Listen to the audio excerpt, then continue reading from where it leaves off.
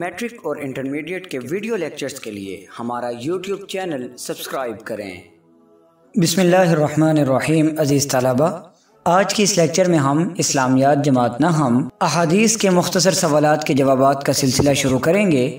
تو آئیے سب سے پہلے حدیث نمبر ایک اور حدیث نمبر دو کے مختصر سوالات کے جوابات ملاحظہ کیجیے حدیث نمبر ایک۔ اس کا پہلا سوال ہے، ترجمہ لکھیں۔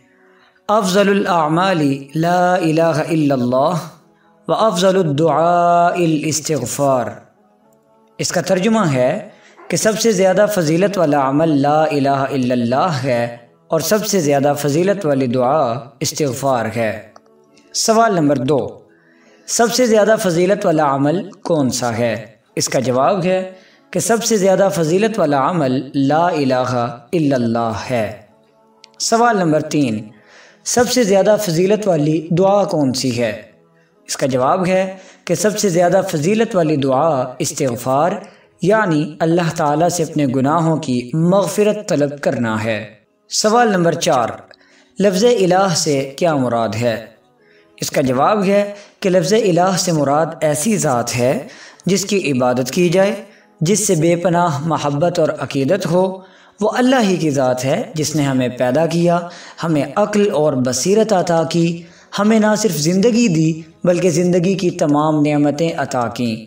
ہمیں چاہیے کہ اپنے قول اور اپنے فعل سے اسی ذات کو الہ مانیں، اسی کی عبادت کریں اور اسی سے سب سے زیادہ محبت کریں۔ سوال نمبر پانچ، اللہ کو الہ ماننے کا تقاضا کیا ہے؟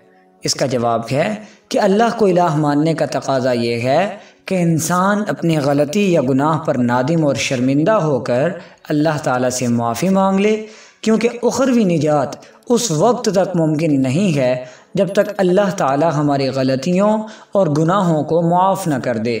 اب اگر کوئی اللہ کی نگاہ میں پسندیدہ اور محبوب بننا چاہتا ہے تو اسے چاہیے کہ چلتے پھرتے، اٹھتے بیٹھتے، دل و جان سے لا الہ الا اللہ اور استغفر اللہ کا اظہار کرتا رہے۔ حدیث نمبر دو۔ سوال نمبر ایک۔ ترجمہ لکھیں۔ طالب العلم فریضت علی کل مسلم۔ اس کا جواب ہے کہ علم کی طلب ہر مسلمان، مرد و عورت پر فرض ہے۔ سوال نمبر دو، علم کی اہمیت پر ایک حدیث لکھے یا علم کے حصول کے حوالے سے ایک حدیث لکھیں؟ اس کا جواب ہے کہ علم کی اہمیت درج الحدیث سے واضح ہوتی ہے۔ بسم اللہ الرحمن الرحیم۔ طلب العلم فریضت علی کل مسلم ترجمہ، علم کی طلب ہر مسلمان مرد عورت پر فرض ہے۔ اسی طرح ایک اور حدیث میں ہے اطلب العلم من المہدی اللہدی یعنی ماں کی گود سے قبر تک علم حاصل کرو۔ سوال نمبر تین، انسانی فطرت کا بنیادی تقاضا کیا ہے؟ اس کا جواب ہے کہ انسانی فطرت کا بنیادی تقاضا یہ ہے کہ اسے اپنی ذات اور کائنات کے بارے میں ہر اچھی اور بری بات کا علم ہو۔ اس کے بغیر نہ تو انسان دنیا میں ترقی کر سکتا ہے اور نہ ہی اپنے خالق اور مالک کا قرب حاصل کر سکتا ہے۔